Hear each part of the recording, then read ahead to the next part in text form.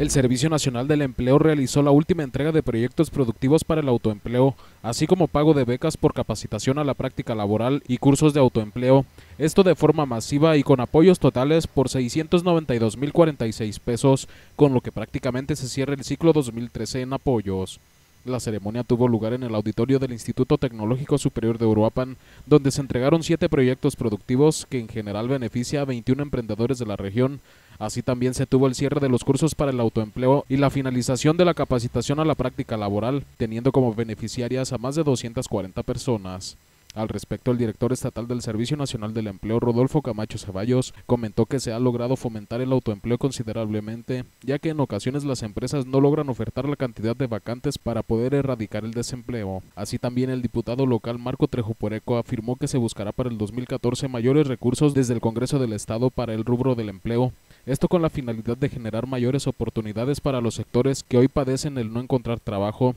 Además hicieron presencia en la ceremonia de entrega el alcalde de Siracuaretiro, Carlos Sandoval Portugal, el delegado regional de turismo Heriberto Magaña Huerta, el delegado de Cedru, Agustín Aranjo Díaz, así como el jefe local del Servicio Nacional del Empleo en Uruapan, Felipe Constantino Espinosa. Con información de Lee López para ABC de Michoacán Televisión, Freddy Vázquez.